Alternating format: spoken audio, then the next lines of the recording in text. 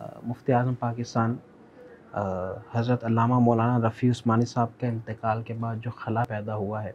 खला पे भी बात करेंगे। जी। लेकिन हमारी आवाम को बताएँ कि क्या शख्सियत है हज़रत की?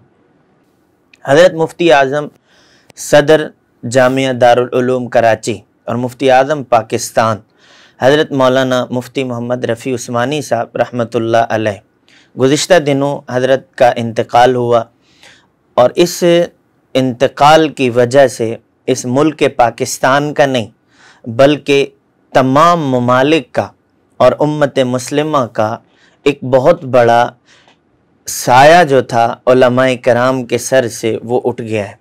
हज़रत मुफ्ती आदम पाकिस्तान अलैह एक बहुत बड़ी शख्सियत के हामिल थे।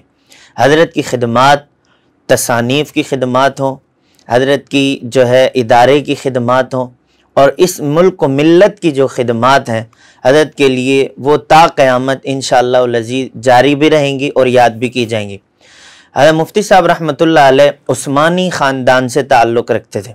मुफ्ती मोहम्मद शफ़ी रहमत अलैह के साहबजादे, हज़रत मुफ्ती तकी उस्मानी साहब दामद बरक़ातमिया हज़रत मुफ्ती रफ़ी उस्मानी साहब, ये दोनों जो है भाई हैं और हज़रत मुफ्ती शफ़ी रहमत अलैह के दोनों औलाद हैं।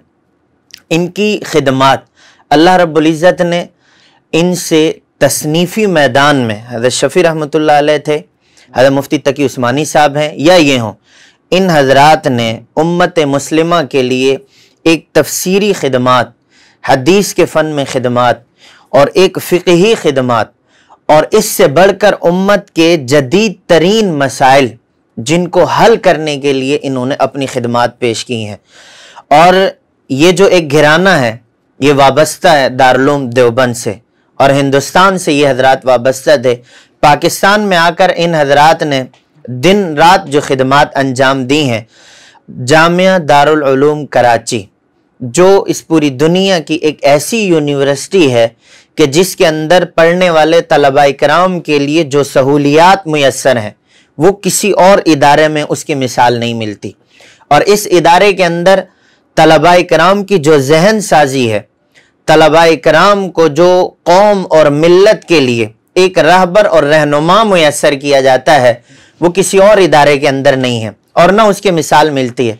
हर मुफ्ती रफ़ी उस्मानी साहब रहमत इस तमाम सिफात के साथ साथ हज़रत के अंदर एक बड़ा अतदाल था। शिद्दत पसंदी हज़रत के मिजाज में नहीं थी।